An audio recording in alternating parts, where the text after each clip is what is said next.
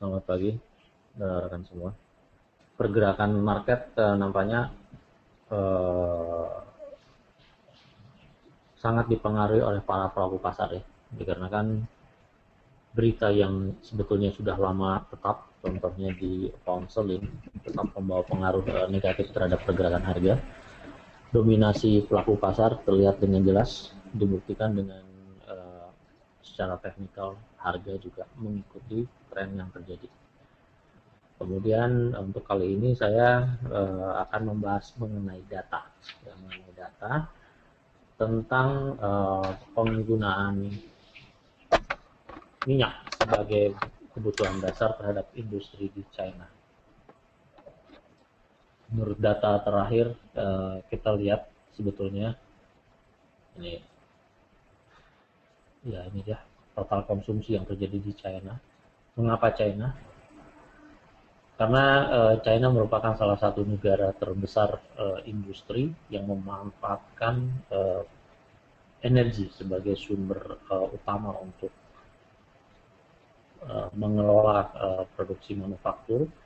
Terlihat di sini uh, total energy consumption di China laporan tahun 2012 dari tahun uh, 2011 saya kira tidak terlalu banyak berubah membutuhkan sangat besar di batu bara sebesar 69%, kemudian oil 18%. Nah, sudah barang tentu kalau batu kita berbicara batu bara, China sendiri uh, memasok batu bara tidak hanya dari lokal, tetapi juga dari negara-negara lain, termasuk ke wilayah uh, Indonesia maupun Australia. Maka dari itu, apabila uh, terjadi kenaikan harga batu bara, kemungkinan manufaktur Cina juga terpengaruh dengan uh, sedikit perlambatan. Kemudian yang mengakibatkan uh, positif yang terjadi adalah wilayah Australia. Jadi uh, perdagangan Australia yang uh, tinggi. Di samping uh, Australia sendiri uh, mengekspor ore atau biji besi ke China sebagai bahan dasar uh, manufaktur. Nah, kali ini kita uh, akan membicarakan masalah oil yang sebesar 18% kebutuhan dari total di uh, China. Kita melihat uh, kebutuhan oil dan konsumsi produksi dan konsumsi di China sendiri sangat besar, dimulai uh, data yang berasal dari EIA International Energy sekitar uh, 3 miliar barrel per hari terus meningkat hingga diperkirakan tahun 2014 ini sampai ke arah mendekati uh, 11 miliar barrel per hari kemudian nih forecastnya juga diperkirakan mendekati angka 12 di tahun uh, 2015 sementara produksi yang semakin lama semakin membesar band antara konsumsi dan produksi. Pada tahun uh, 2014 terbaca juga konsumsi masih berada di angka 4 miliar barrel per hari. Bagaimana bisa menutupi uh, angka konsumsi yang berada di atas uh, 11 miliar barrel per hari? Sangat jomplang maka dari itu Cina membutuhkan uh, impor dari negara-negara lain penghasil minyak. Nah, uh, kemarin pada hari Senin terbaca data bahwa uh, China sendiri mengimpor lebih banyak 50% uh, minyaknya dari Iran. Sehingga kita melihat pergerakan harga yang terjadi di uh, minyak di tengah-tengah uh, krisis energi atau uh, penurunan tingkat supply yang terjadi di uh, Amerika Serikat sebesar 7,5 miliar barrel membawa pengaruh juga terhadap uh, peningkatan harga minyak pada saat itu. Kemudian kita melihat uh, dari Iran sendiri kita berdasarkan data uh, dari seluruh uh, penjualan Iran terhadap beberapa negara terlihat di sini juga memberikan kontribusi sangat besar Iran sebetulnya ekspor yang terbesar adalah China. China sendiri uh, mengimpor dari Iran sebesar 543 ribu barel per hari. Jadi diperkirakan juga uh, Cina keterkaitan antara Cina dengan uh, Iran sangat besar. Kita melihat di sini uh, yang kedua Iran mengekspor dari uh, mengekspor uh, minyaknya kedua adalah India India kita tahu juga kemarin meningkatkan juga jumlah uh, kebutuhan untuk impor terhadap uh, bahan bakar bahan bakar ini dari Iran. Ini data dua minggu yang lalu. Kemudian yang ketiga adalah Jepang uh, dan uh, Korea Selatan. Meskipun Iran uh, mengalami embargo, tetapi tetap uh, dari beberapa negara masih tetap membutuhkan uh, minyak yang berasal dari Iran dan uh, lainnya. Kita uh, melihat dari China sendiri, ternyata Iran sendiri hmm, hanya memberikan kontribusi sebesar 8% dari China, impor dari beberapa negara, data 2013 sangat besar adalah dari Saudi Arabia data yang terbaru kemarin uh, ternyata China meningkatkan impor dari Iran uh, yang total rata-rata 8% dari seluruh impor dari bahan bakar. Ini terbaca di sini. Membawa pengaruh langsung terhadap peningkatan uh, minyak. Kita hanya melihat dari satu variabel sementara ini. Sehingga uh, peningkatan sedikit saja uh, di permintaan terhadap minyak. Membawa pengaruh terhadap pergerakan harga apalagi apabila kita eh, mendengar atau membaca report apabila Cina meningkatkan uh, impor terhadap Arab Saudi bisa dibayangkan peningkatan yang cukup signifikan terhadap uh, harga. Arab Saudi memberikan kontribusi terhadap impor dari China sendiri terhadap minyak yaitu 19%. Baru kemudian di wilayah terbaca di sini Angola Afrika, kemudian uh, dari beberapa negara lain. Iran pengekspor uh, utama nomor uh, dan nomor nomor tiga antara nomor tiga dan nomor empat dari seluruh uh, ekspor minyak seluruh dunia. Jadi uh, apabila kita melihat dari jumlah ekspor yang sangat uh, besar sesudah Irak Iran membawa pengaruh juga uh, terhadap pergerakan harga. Kita melihat di sini juga kontribusi Iran terhadap China sendiri uh, total ekspor dari uh, keseluruhan perdagangan mempunyai uh, ketergantungan sebesar 18,2 bilion untuk ekspor menghasilkan seperti itu. Kemudian China sendiri juga mempunyai keterkaitan sebesar 11,1 bilion terhadap ekspor dari China ke Iran. Kedua negara ini memberikan uh, pengertian bahwa masih mempunyai keterkaitan yang cukup uh, signifikan. Dikarenakan apabila kita melihat letak uh, geografi dari Cina dan uh, Iran sendiri sangat dekat ya sangat dekat. Kita melihat di sini dari petang sendiri sehingga memungkinkan untuk uh, terjadi ekspor secara pipeline sehingga uh, kebutuhan keamanan terhadap daerah sangat di, uh, dilindungi ya dilindungi karena melewati dari beberapa negara. China sendiri merupakan tetangga terdekat di uh, terhadap India atau India merupakan tetangga terdekat di China dan juga kita melihat uh, partner terbesar terhadap uh, China sendiri terlihat di sini uh, ekonomi Eropa, uh, India dan Jepang dan Korea Selatan dan Iran e, memberikan kontribusi selanjutnya untuk e, kebutuhan energi. Kemudian dari tingkat pertumbuhan dari China sendiri yang kemarin diumumkan cukup e, bagus dari 7,4 persen menjadi 7,5 persen, mengindikasikan bahwa pertumbuhan yang cukup optimis di tengah-tengah penurunan dua bulan yang lalu 7,4 persen ternyata dikembalikan kembali ke 7,5 persen Kemudian angka yang terjadi 7,5% ini masih berada di angka rata-rata 7%, di atas 7%. Semenjak tahun 2013 hingga 2014 tetap mempertahankan angka terendah sebetulnya di angka 7,4%. Kemudian naik kembali. Jadi ada kemungkinan juga uh, di bulan ke depan, ketiga, ke triwulan ke depannya, uh, China memberikan laporan yang cukup positif terhadap tingkat pertumbuhan. Memang beberapa analis mengindikasikan terjadi bubble hanya di tingkat uh, perumahan. Karena tingkat hunian yang terjadi atau yang diumumkan uh, meredah. Namun begitu, secara keseluruhan kita melihat uh, tingkat pertumbuhan di China terus meningkat. Nah ini uh, kemudian isu oil yang terjadi uh, terakhir yang menyatakan impor uh, dari Iran meningkat sebesar hampir 50% atau 48% menjadi 630 uh, billion uh, per day ya barrel per day sorry barrel per day jadi sebetulnya uh, kebutuhan minyak uh, oil di China sendiri dibutuhkan sangat banyak untuk tingkat manufaktur menopang dari tingkat pertumbuhan.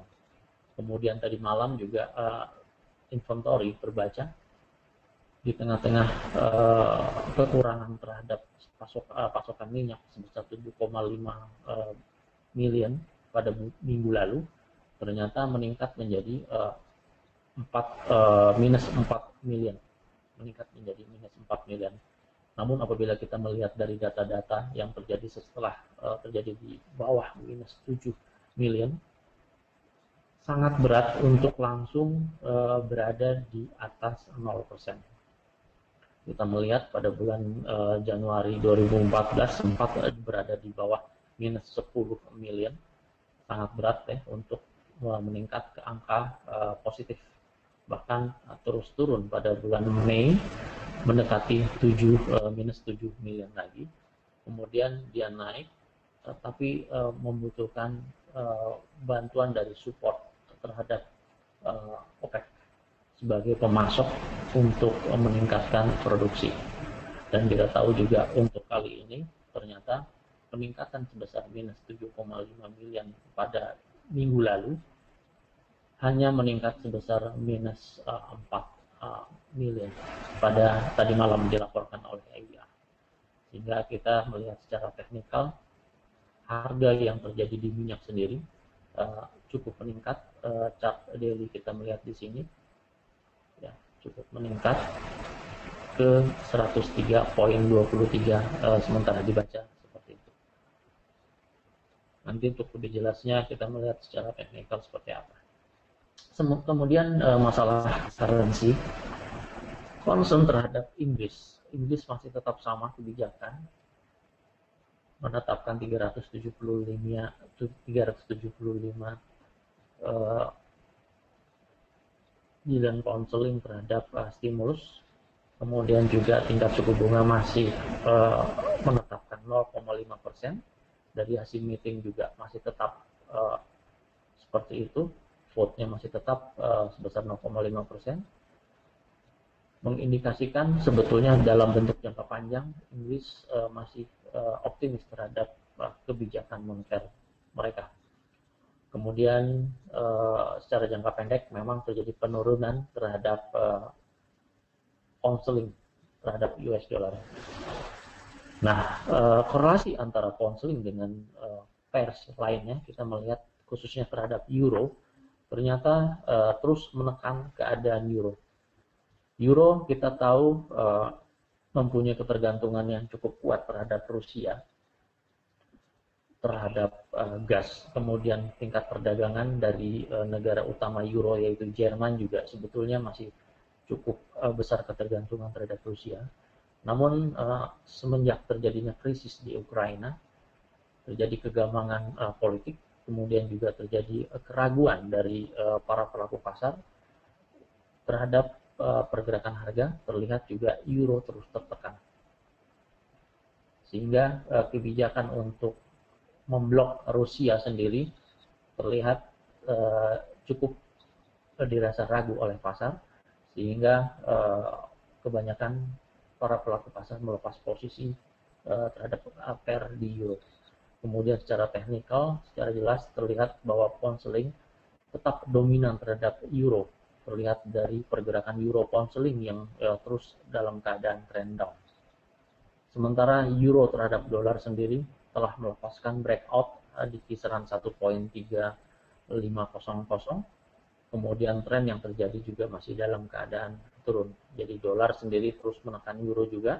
Di samping yen penguatan yen terhadap euro terus berlanjut juga. terbaca terakhir di 136.60-an uh, untuk pound sterling, euro, eh sorry untuk euro yen, kemudian tren yang terjadi juga masih dalam keadaan turun. Dari ketiga pair uh, pound sterling, dolar maupun yen mengindikasikan euro masih berada di bawah dari ketiga pair tersebut. Jadi yang dominan adalah pound sterling, uh, dolar dan yen terhadap euro. Jadi uh, diambil kesimpulan tren yang terjadi untuk euro sendiri dalam keadaan drop. Demikian fundamental uh, yang singkat, Pak Iksan. Ya, uh, baik, baik tentu untuk data dan kemudian untuk tadi data yang mengenai uh, HSBC ya, HSBC uh, manufacturing PMI di sini mengalami kenaikan tadi aktualnya jadi 52,0 datanya positif untuk uh, China. Kemudian untuk uh, mengenai data yang tadi Bapak uh, informasikan baik dari uh, China, terus kemudian data dari uh, Eropa dan Amerika. Khusus data dari China emang di sini datanya masih positif ya, Pak Dwi. Nanti kita bisa lihat data ke pengaruhnya ke indeks saham Hang Seng-nya. Terus kalau sedikit bisa diulas Pak Dwi untuk data dari Cina ini pengaruh ke indeks sahamnya Pak seperti apa? sudah jelas terlihat sebetulnya di chart untuk uh, Hang Seng sebetulnya kalau China langsung berhubungan dengan Shanghai Composite Index baru kemudian di Hang Seng. Namun karena uh, produk kita Hang Seng kita melihat uh, di Hang Seng sendiri dalam keadaan positif setelah tiga hari uh, setelah terjadinya breakout kita lihat di sini angka breakout yang terjadi cukup uh, bagus sebetulnya ada dua titik uh, pada tanggal ini pada tanggal 16 Juli kemarin kemudian terlihat juga pada tanggal 3 Juli, terpecahkan pada tanggal eh, uh, 22 Juli kemarin. Hingga saat ini, setelah kebutuhan tadi minyak untuk produksi di tengah-tengah tingkat pertumbuhan yang cukup optimis, uh, forecastnya yaitu 7,5 persen, uh, kemudian diumumkan pemerintah juga dalam keadaan positif, membawa pengaruh juga terhadap positif terhadap Hang Seng. Kemudian pada pagi ini terlihat juga pembukaan berada di atas uh, harga pembukaan kemarin, meskipun berada di bawah penutupan, namun begitu masih berada di atas 50% dari uh, range yang terjadi pada uh, kemarin. Terlihat uh, sebelah kiri, ya, sebelah kiri kita yang sangat jauh ini menjadikan tujuan uh, terhadap peningkatan harga di 24.151 untuk pergerakan Hang Seng nampaknya akan terjadi pada minggu ini atau pada hari Jumat uh, esok hari penutupan. Dikarenakan uh, tren yang terjadi secara candlestick juga bullish candle, meskipun saat ini masih berada di dalam perjalanannya untuk menutup posisi uh, dari sisi candle, namun masih diperkirakan secara fundamental juga masih cukup positif. Dikarenakan juga tadi uh, diumumkan plus manufaktur PMI dalam keadaan positif di atas forecast maupun di atas bulan lalu. Jadi power untuk ke arah 24.151 sangat dimungkinkan. Di samping kita tetap menjaga uh, posisi untuk untuk uh, kapos disesuaikan dengan jumlah dana yang ada, dengan kemudian juga dengan posisi sizing lot juga uh, cukup utama untuk tetap diperhatikan. Di samping harga di 23.867 menjadi patokan untuk uh, berhati-hati.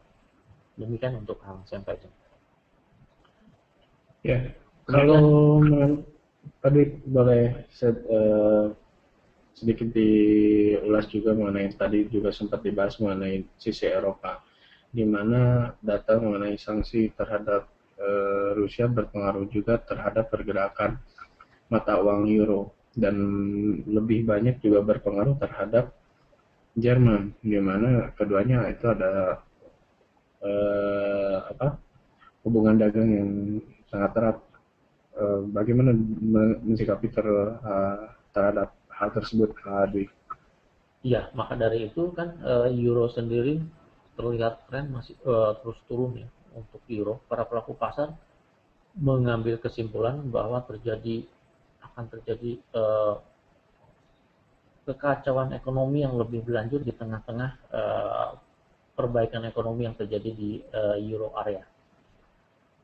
Kemudian uh, yang kita tahu sebetulnya utama sekali partner dagang di Eropa selain Jerman adalah Belanda, namun Belanda juga masuk ke wilayah euro yang mempunyai ketergantungan yang sangat erat di Rusia. Sayang saya tidak bisa menampilkan, belum bisa menampilkan beberapa negara sebetulnya yang sangat terpengaruh terhadap Rusia.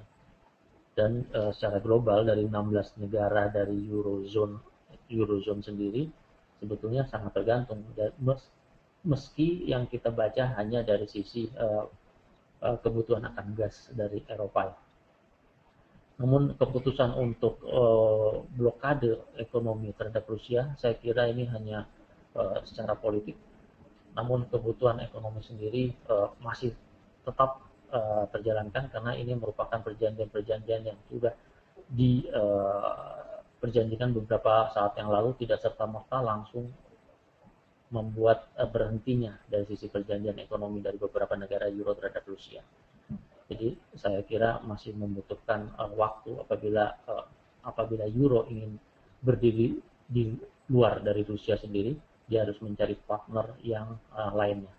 Yang saya kira untuk saat ini uh, sangat sulit.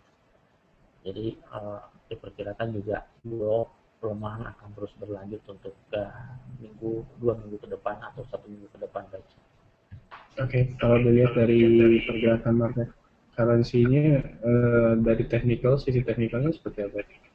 Ya, kita langsung ke currency ya. Tadi saya sudah memperlihatkan ketiga currency untuk ke euro, ya untuk euro. Saya akan perlihatkan uh, beberapa currency untuk euro basket dari di, luar dari ketiga currency tersebut. Ini sebetulnya analisa yang sangat gampang untuk uh, melihat kekuatan euro sekarang, kontemplasinya seperti apa. Saya membuka chart daily semua untuk beberapa time, beberapa euro daily semua ya terlihat. Terlihat di sini euro terus tertekan di angka 1.34586, kemudian juga tertekan terhadap pound sterling.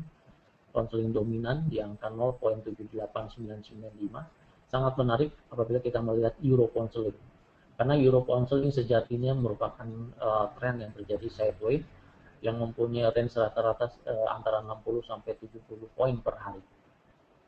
Sideways. Namun untuk uh, kali ini dimulai dari bulan Maret hingga bulan Juli ternyata uh, sifat dasar terhadap uh, euro konseling sendiri terus mengalami tren penurunan karena uh, cross rate yang terjadi uh, indikasi ini mengindikasikan bahwa pound lebih dominan terhadap euro. Euro sendiri berada di bawah hingga saat ini di angka 0.78995. Jadi belum ada tanda-tanda secara teknikal juga membawa pengaruh terhadap uh, setway-nya kembali uh, kedua currency ini atau dalam uh, pers euro pound sterling ini.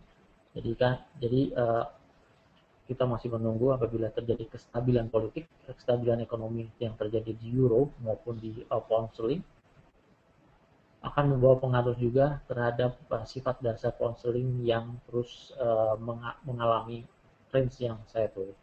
Namun kali ini terlihat euro pound dalam keadaan turun. Begitu juga Australia, euro Australia juga dalam keadaan turun. Australia juga ternyata terus mendominasi pergerakan euro sehingga uh, euro Australia sekarang terbaca di 1.4227. Kemudian tren yang terjadi cukup jelas di sini bahwa pergerakan euro Australia sangat uh, turun juga mengikuti tren yang terjadi di euro pound Terlihat juga dari Australia dolar terhadap US dollar uh, kecenderungan masih tetap uh, naik nanti kita lihat. Kemudian Euro Swiss. Nah, Euro Swiss juga cukup menarik dari beberapa fundamental yang terjadi di Euro Swiss. Tren yang terjadi terlihat juga uh, turun, namun cukup landai dikarenakan kebijakan dari Swiss tetap mempertahankan di angka 1,2 maksimal penurunan euro. Jadi penguatan Swiss itu diperkirakan uh, masih tetap dibantu oleh bank sentral di angka 1,2. Jadi ini juga kita bisa mengambil kesempatan untuk pengambilan posisi di Euro Swiss dengan posisi buy apabila mendekati di angka 1,2 untuk Euro Swiss. Namun begitu untuk saat ini tetap sama, stagnasi terjadi di uh, Euro Swiss. Kemudian Euro Yen, pergerakan yang cukup lincah sebetulnya di Euro Yen karena range rata, rata harian di atas 200 2000 pip untuk uh, pergerakan. Kemudian tren yang terjadi di Euro uh, Yen juga masih dalam keadaan turun. Ya, terlihat dengan jelas. Kemudian telah terjadi breakout beberapa saat yang lalu, dua kali uh, breakout yaitu di uh, tanggal 10 Juli. Kemudian pada tanggal 15 Juli juga tadi breakout. Terus uh, saat ini target untuk penurunan sangat dekat sekali di angka 136.238. Tren yang terjadi untuk euro yen juga dalam keadaan turun. Sementara di euro Kanada, antara negara euro itu sendiri, ternyata Kanada lebih dominan terhadap uh, euro sehingga target lanjutan untuk dolar euro uh, Kanada sendiri di angka 1.44003. Dari uh, keenam pairs yang terjadi, keenam currency yang terlihat di sini bahwa euro masih uh, dalam keadaan tertekan. Kesimpulan terhadap euro sendiri terlihat uh, euro terus mengalami penurunan uh, trennya. Demikian baik untuk euro itu. Oke, okay, kalau data dari untuk indeks dari Amerika sendiri seperti apa Pak? Untuk pengaruh terhadap kita melihat Amerika dalam keadaan positif ya dalam keadaan positif. Terlihat di 80.830 tren masih dalam keadaan positif. Kemudian uh, kita melihat refleksi dari kita melihat tren lain yang terdekat yang ada sedikit accelerating trend line juga Nah ini membentuk band antara uh, support to support sangat jauh, bahkan uh, terus menjauhi titik support dia angka hari ini. Kemudian yang terlihat uh, tren yang terjadi di sini, channel yang terjadi adalah bullish, meskipun uh, ditenggarai head yang terbentuk kemarin cukup mengkhawatirkan juga ternyata untuk uh, turun, namun tidak terbantu oleh uh, harga pembukaan tadi pagi maupun hingga saat ini jadi tidak ada uh, candle pembalikan atau reversal dari candle sehingga diperkirakan untuk uh, dolar sendiri uh, dalam keadaan meningkat sampai ke angka 80.849 hingga uh, angka tertinggi 2014 bulan Juni yaitu di 80.89. Sementara pound sterling kita melihat ya meskipun uh, pound sterling ya tren masih dalam keadaan naik sebetulnya dengan chart daily koreksi yang terjadi di hanya terjadi di uh, time frame lebih kecil yaitu 4 jam maupun uh, satu jam. Kan masih dalam uh, keadaan naik. Apabila kita melihat dengan chart daily. Time frame kita kecilkan. Koreksi yang terjadi di uh, pound sterling dapat juga dimanfaatkan dengan time frame yang lebih kecil. Ya. Nah ini dia. Time frame yang lebih kecil 4 jam maupun satu jam kita bisa memanfaatkan dengan transaksi jangka pendek cukup berhati-hati sebetulnya di angka-angka ini di angka-angka 1.70050 untuk reversal kembali mengikuti tren yang terjadi untuk jangka panjang yaitu di uh, angka 1.70050. Kemudian Australia dolar ya Australia dolar juga uh, mengalami kenaikan di tengah-tengah uh, meskipun di pada bulan ini berada harga berada di antara angka tertinggi bulan ini maupun harga terendah bulan ini yang terlihat uh, terus uh, Australia ini mendekati angka tertinggi uh, pembukaan bulan yaitu di 0.95006. Secara jangka pendek maupun jangka panjang dapat dimanfaatkan untuk bullish. Kemudian New Zealand dollar. Tadi pagi telah diumumkan sebetulnya New Zealand dollar uh, terjadi peningkatan terhadap tingkat suku bunga menjadi 3,5 persen, jadi peningkatan sebesar 25 basis point. Terlihat uh, di sini mengalami penurunan yang cukup signifikan untuk daily sendiri. Uh, pola 1 2 3 telah tembus kemarin di angka angka duanya ini ya, angka duanya ini breakout. Kemudian uh, kita perkirakan penurunan berdasarkan uh, Fibonacci. Target selanjutnya ada di 0.85400 untuk uh, New Zealand dollar. Kemudian dolar yen Dolar yen masih tetap sama di tengah-tengah uh, symmetrical triangle maupun uh, kecenderungan descending triangle. Dan 11.526 secara daily juga uh, terus mendekati di angka resisten di 101.739. Pergerakan harga atau transaksi Shopee masih tetap dimungkinkan untuk di dolari. Demikian Pak Isan. Silakan disimpulkan. Okay. Saya kira sudah. Uh, boleh sedikit aja Pak mengenai emas. Kita bahas sedikit mengenai emas. Sedikit aja.